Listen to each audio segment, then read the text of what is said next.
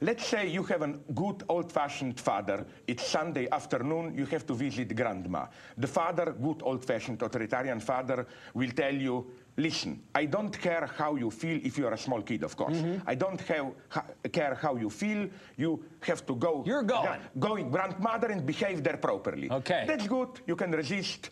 Uh, no, nothing is broken. But let's say you have this so-called tolerant postmodern father. What he will tell you is the following.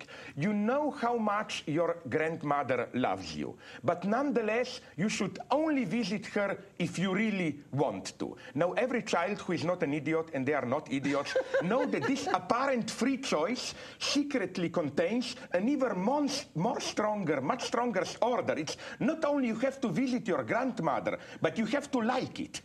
So I'm you see- beginning to like this book all the yeah, more. That's one example of how apparent tolerance, choice, and so on can conceal a much stronger, a much stronger order. Another, So we should go back to more like the dad that just says, because I said so. Absolutely, it's more honest. We went to the McDonald's breakfast. This is not so ridiculous. Look what you get. Look, you have, look what you get. Look, look, look. This- Look, look, look what you get. Look what you get. You know, you get this with Happy Meal. Yeah, to make you happy. Yeah, but this is for the kids. I go there to make him happy. He pretends to be happy there, not to disappoint me. but what the hell? The game functions. No, this means that again, you know, I love him, but my perspective is time. You know, we go there up and down. One hour passes. No, no, it's pure desperate strategy of survival. Right. How to pass the time without getting too nervous, without, and this is easy because he eats and shuts up for 20 minutes. How should I put it? What does he get nervous about? No, I get nervous. You get nervous. Okay, this will go. This will go.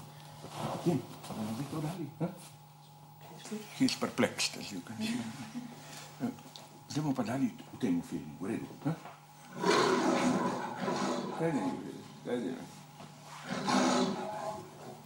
Okay, No, he's narcissistically amused. It's just to keep him calm in a non-demanding state. So it's eating, it's this, it's whatever, no? Right. Or at least negotiating. Like yesterday, he was building some Lego castles.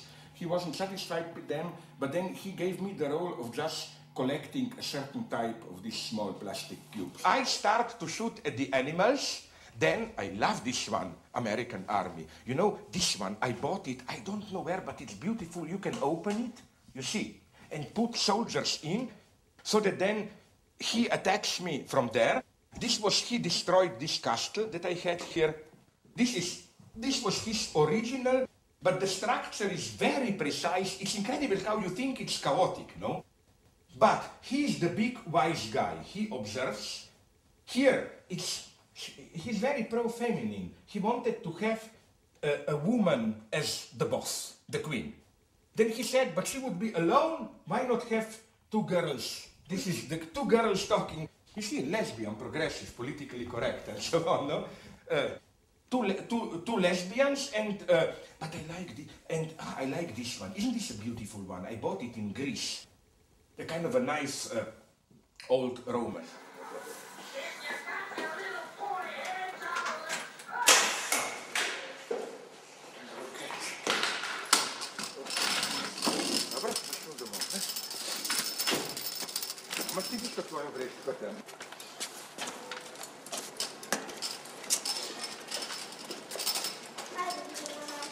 Aí tudo